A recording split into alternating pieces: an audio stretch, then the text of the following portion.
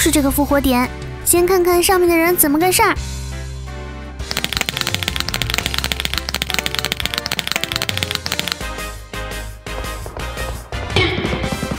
看到他跑下来了，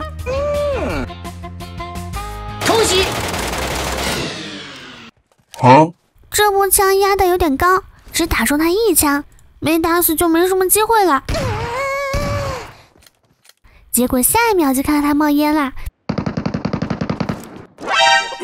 被另一个人干掉？直接进辐射区吧。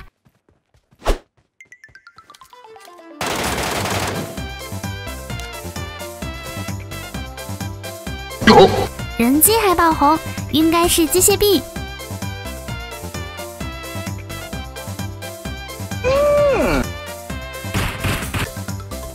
进来之后，我发现箱子竟然没有被偷，这局没有老鼠。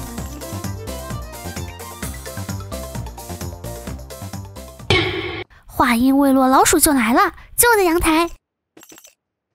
这个老鼠一点不恋战，知道我追它三腿就跑。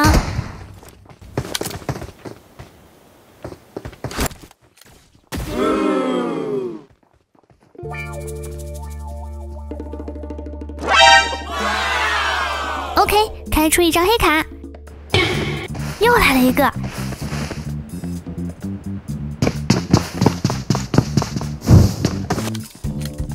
请他吃颗雷，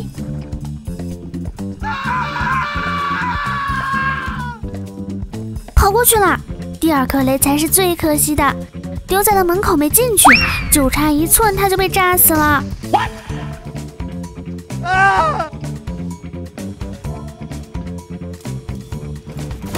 被我吓到之后，他人就不见了。结果他直接化身老六，一动不动，吓我一跳。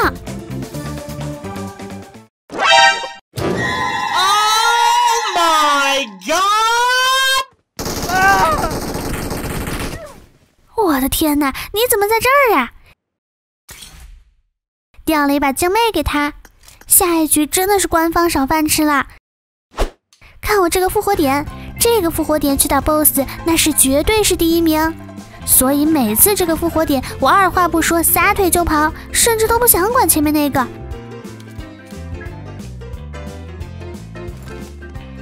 拜拜了，你内，有胆你就下来找我。而且这个复活点不用担心下面有老六，我一定是第一个。先把 BOSS 给他刷了。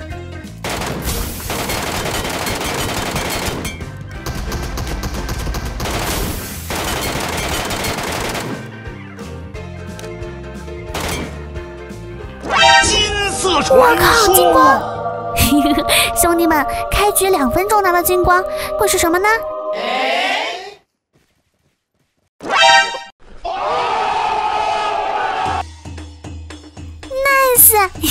一件甲，而且还有黑卡。我现在都不敢看属性，不会又是老爷属性吧？千万别呀！先换上配件再说，然后丢出来看一下，防爆材料。爆炸伤害降低二十哦，这个的话是不是老爷属性呀？应该可以降低手雷和榴弹的伤害，是不是？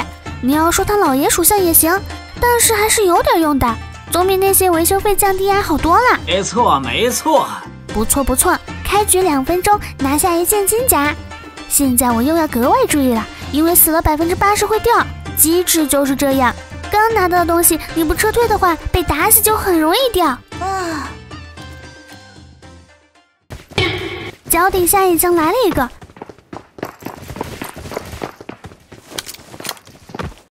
他还翻出来了。这个人是没甲的，可惜了他的六级包没掉。脚下还有一个声音，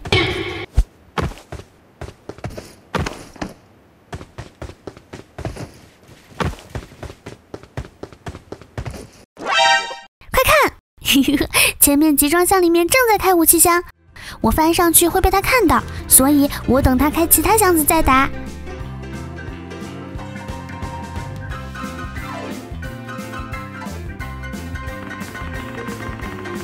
不对劲儿，他怎么跑了？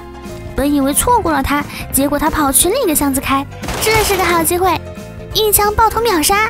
估计又是个小朴仔，同时后面也来人了。哦，先给他吃一颗雷。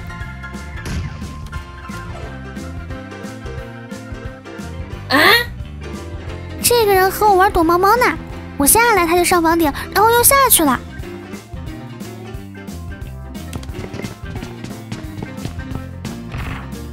你在这干啥呢，帅哥？又没有爆红，包里只有一些变卖物。开个箱子压压惊吧。可以，一根金条。我听到河道人机报警了，应该有人滑索过来。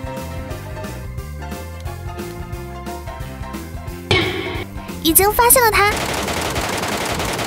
这个过点没有打掉，直接掐雷。还朝我轰榴弹，一颗雷塞到你嘴里。封颗烟再舔包，就怕有老六。不是吧，大哥，又不掉装备？这群六套都不掉东西是怎么回事儿？对了，那边还有个包，差点忘了。老样子，封一颗烟。平时我都不封的，主要这局搞到了一件金甲，所以谨慎一点儿。这个人才是真正的老鼠！我的妈呀，包里没有药，没有子弹，只有变卖物。这小子是纯来偷箱子的。回到 BOSS 点，又听到了一个脚步。不过他是胆小鬼，听到我回来后撒腿就跑。听到声音没？在下面还打了起来。听到这两把枪的声音，我掐指一算，又是朴仔。朴仔才用大菠萝，所以我压根儿不想管他，直接去另一边辐射区，让我把黑门给吃了。这个黑门也被阴我，所以还是封烟再打开。现在我已经了解了辐射区各个能阴人的点位，现在想阴到我没那么容易了，这都是被打出来的经验。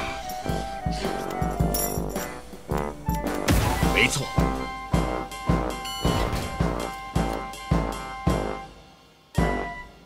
Nope. Nope. Nope. 我服了，又是个低保黑门，这黑门算是废了。现在基本都是低保，但是你还别说，这局我战备值也五百二十万啦！感觉自己都没怎么开箱子，但是战备值倒不低。最后这局也是成功撤退。好啦，我是唐心，下期视频见，拜拜。